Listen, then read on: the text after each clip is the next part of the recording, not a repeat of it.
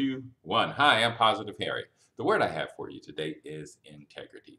Integrity. What is integrity? Well, the state of being complete or whole, the state of being honest or fair. But what does that really mean? What happens is that uh, it was once said to me that integrity, or I should say character, is what you are when no one is looking. Reputation is what you are when people are. But what is the real you when no one is watching? And so when we're away from people, we want to be developing ourselves in a positive way. And there's things that happen in our day-to-day walk that will challenge or help us to grow in integrity. Now I'll share this situation with you. About eight months ago, Audrey and I, we decided to change our internet service. And when they came or when they called, uh, when I called them, I asked them what was going to be the extent of the setup. And they said that you're going, they're going to charge us monthly charges for the, the router and the modem, whatever else. And I said, well, if I go purchase those things, I won't need to have that monthly charge. So that's what I did. I went and I purchased those things. The individual came to set up the um, the, mod the modem and the router. I was at home and I came back. It was it was running, and then I got my first month's bill, and I'm being charged for a, a modem. And I was like, what? You know, so I called the lady and said, no, I purchased my own router and my own modem, and so there shouldn't be a charge. So then she said, okay, no problem. She marked it off. Next month bill came in, and it was, I had that credit, and I wasn't being charged uh, for that. Well, about seven months later, which was recently, we moved, and we couldn't keep the same internet service. We tried to, and we couldn't. And so we got another provider. That provider came and we kind of had the same uh, uh, setup. And so he took what we had and then he had an extra, an extra box. And he says, you're renting, you're renting this one from somewhere. And I said, no. And then I looked at it and I said, oh, wow.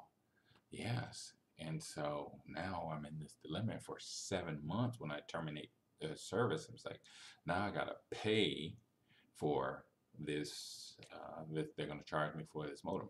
But they don't even know I have the modem, right? Because they marked it off that, hey, he doesn't have it. Now, integrity kicks in. I call to cancel. Say, ma'am, you know, I just want to let you know that we no longer uh, can use your service because of this new location. We would love to. And there's something else. I have to tell you that I've had this modem for seven months and I didn't realize that I had it. so I told them that feel free to charge me for the months that I had it. And so um, they said, no, that's okay. Just return the modem. Just return the modem. And I was like, oh, okay. So went to return the modem uh, yesterday, matter of fact. And when I got there, they had given me a $28 credit, $28 credit that they were going to mail the check. And I feel kind of bad because I'd use their modem.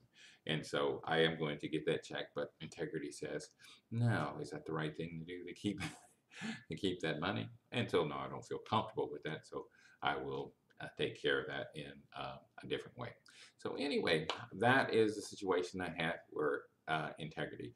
Now, here's a question, where did I learn integrity from?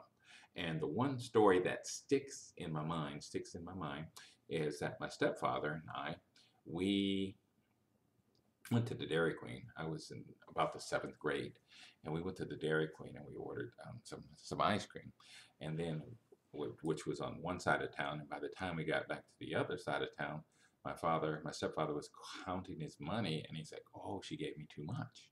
She gave me too much money back.